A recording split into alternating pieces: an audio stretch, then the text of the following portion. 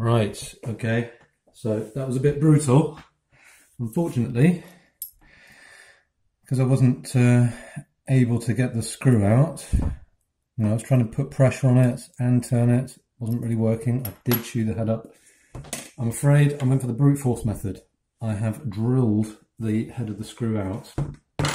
Not really what I wanted to do because uh, I'm not going to be able to replace that. Uh, I'm not going to be able to get the shaft of the screw out. I'm not going to be able to replace the screw. So I've effectively lost uh, the function of that screw. But never mind. There are other screws. So let's see what happens now. Okay, so this has come off. How does that help? Hmm, let's see. And with Adam and Evert, that screw was not the problem.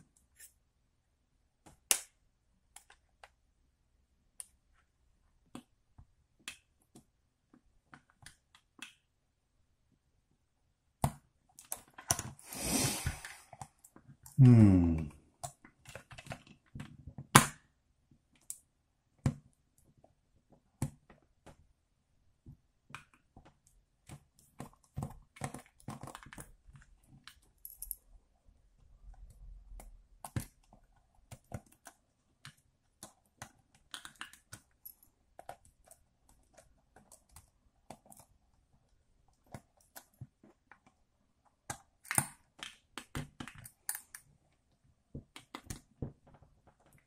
Now, some people would say to uh, maybe put a bit of tape on your table so that as you take these screws out you can put them down in order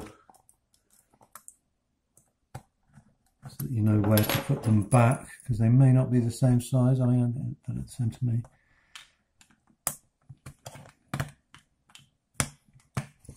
See how we do it. Okay.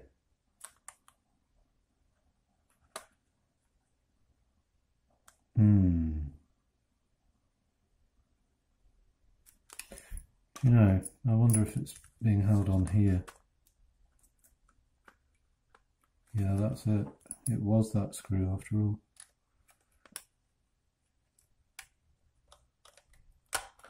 Yeah, there we go. That's done it. So I did need to take out the screws at the top and that screw at the side did need to come out because it was holding that together just there. Hmm. Okay. So, right. Step one. That was an unparalleled success. Not. Those two have come out. So the idea is to put the microphone over here. So, yeah. So I can see there, these two tiny thin wires are, according to what I've read, those are the microphone wires going to the internal mic. So we're going to put our microphone socket into the path of those wires. Now, do I attempt to do this with these wires on the back attached? There's a pro and a con to taking them off. Uh, it's coming off already. Ah, it's come off by itself. Okay, so that one's off. In which case, possibly I can do the do my surgery. Um, not attached. Let's see. Let's see if this one will just pop off.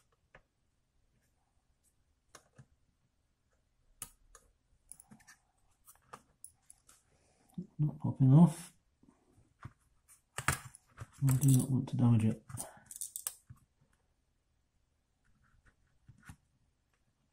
So I think I'll just put that in that position. Right, now I'm just going to tape that in place so it doesn't, it's not going to be moving around too much while I'm playing with the mic socket and hope that I can pop that wire back on afterwards because that's going to be important. Right. Okay, so what I need to be doing, I'm going to have to break those wires, solder them to this, and put this in here somehow. Hmm.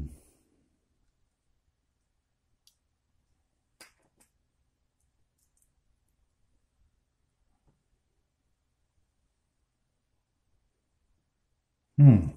Okay, so having opened her up, drilled out that screw, undone that cable that I didn't mean to, I now go to take the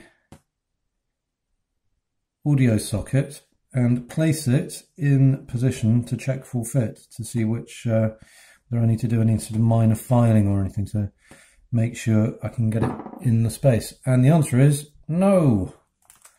Unfortunately, the instructions that I had found on the internet were for a slightly different model of uh, Canon DSLR.